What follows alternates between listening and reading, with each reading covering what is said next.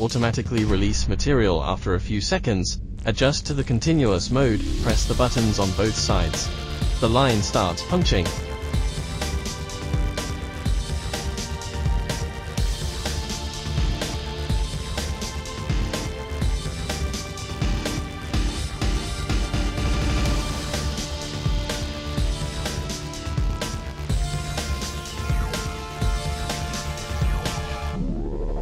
Place the pre-punch sheet into the die.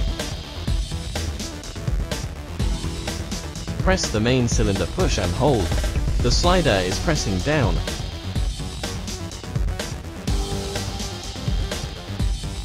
Press the main cylinder return and hold.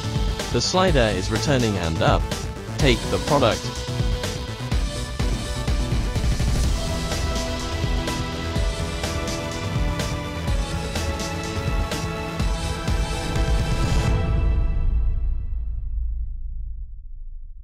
Round mold.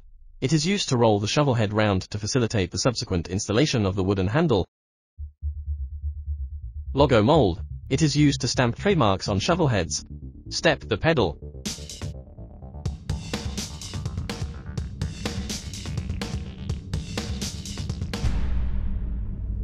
The lathe starts working.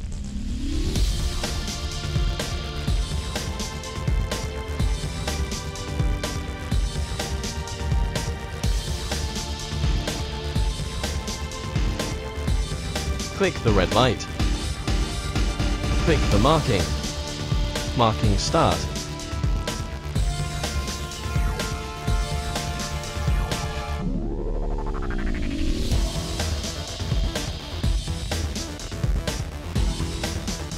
Swing the handle to control the drilling head to drill.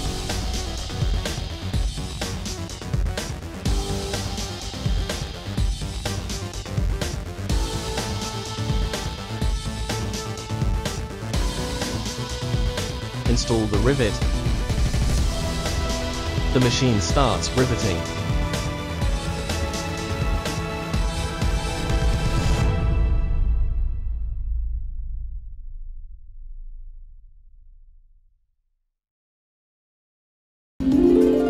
Parcel. Save time, money.